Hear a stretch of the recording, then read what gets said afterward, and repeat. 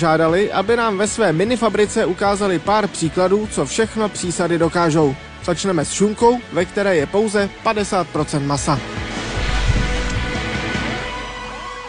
Už v jednom z prvních dílů našeho pořadu jsme v Maso Planá viděli pytle přísad používané pro ty nejnižší kvality šunek. Teď tedy uvidíme, z čeho se ty pytle vlastně skládají.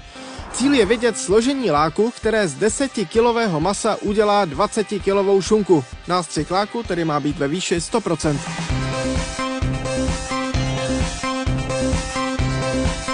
would happen when you would not put it there? When you cook it, become brownish.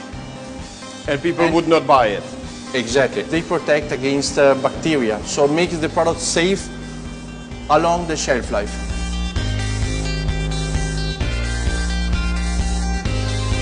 You have a, a lot of water uh, amount into the meat. You need something that gives a natural uh, meaty taste, especially after cooking.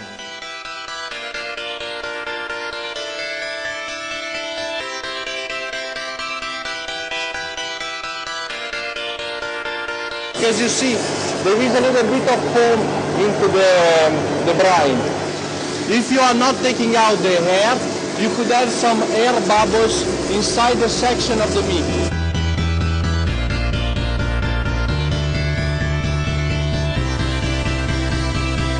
You ask us for inject 100%. And of course, to trap all this water inside the meat, we need ingredients and additives in order to keep the water inside during the cooking process.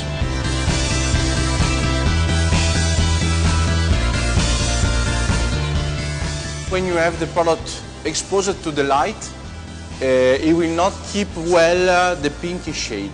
It will be turning brownish, pale gray, etc. Oh, we didn't put a color in. No, no, We will not. no, we will not. Okay. In this case, not, but then it's up to the producers and customers.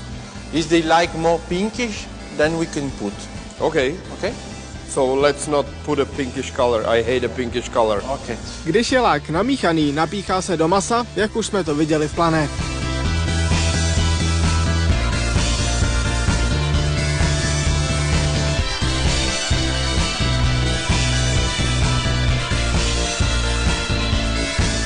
Are we preparing the ham, which we normally sold here in Italy? Normally not at this injection level. This is more for foreign countries like Eastern Europe, etc.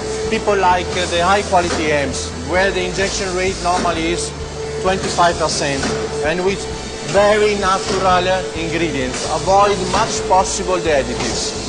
Zajímavý je, jak v Itálii vyrábějí šunku pro východní Evropu, ne? Sami by to nejedli, ale... Takže je napícháno a teď nás čeká okamžik pravdy. So you see, not exactly 100, but we are very, very close. Almost double. Yeah, almost double. Další fáze výroby šunky už nás nemusí tolik zajímat. Tu